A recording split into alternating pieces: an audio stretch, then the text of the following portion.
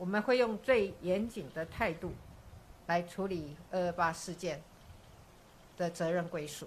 二二八事件届满七十周年，这也是总统蔡英文执政后的第一个二二八。他出席二二八中枢纪念仪式，宣布启动国家转型正义的调查报告。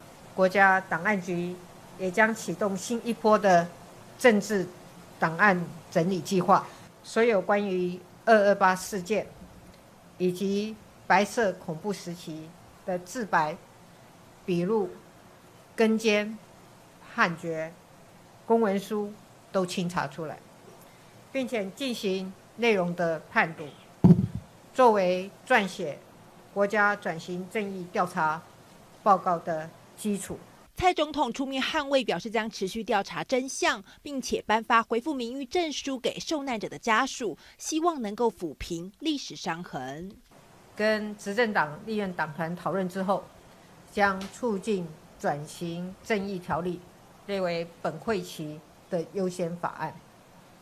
我希望这项法案在本会期可以通过立法。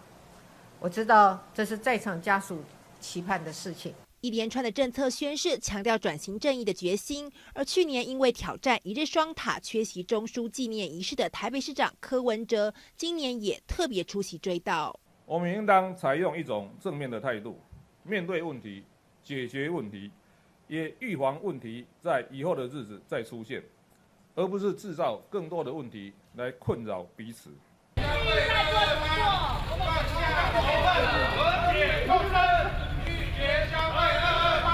不过，看看蔡英文二二八这一天，早午晚共参加了三个相关的行程。早上先是出席义光长老教会二二八林家骂孙追思的礼拜，这也是他今年首度以总统的身份出席这场活动，却遇上民众场外小抗议。前民进党主席林义雄每年二二八也都会回来义光教会，现在如何看新政府上任后的二二八？林义雄避而不答。我想我们改天再谈毕竟蔡英文上任后积极推动转型正义，这次二二八一连串的政策宣示和活动，能否真正落实转型正义，还是引发更多对立？外界都很关注。